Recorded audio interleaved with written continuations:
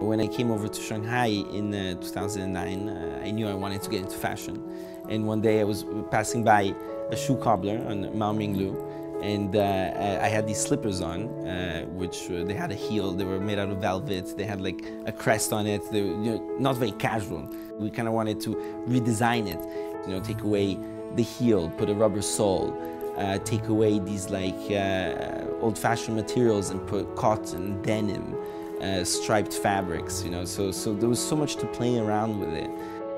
My favorite shoe is definitely the slip-on because I think it's uh, a versatile shoe in the sense that you can wear it uh, somewhere casual, but you can also wear it somewhere elegant. So it's the perfect shoe. Let's say if you're traveling, you're on a plane, you get off the plane, you can go to a dinner party, you're all set, you know. So it's comfortable and stylish at the same time. Don't be too safe when, when buying shoes. Like buy different colors, buy different materials, you know, like have that, you know, that crazy shoe that you think, you know, maybe I'll just wear it once, but then you wear it once, you wear it twice, you get confident with it, and suddenly it becomes your best piece in your wardrobe. I think you can never have enough shoes. And it's important to have a big wardrobe with a vast selection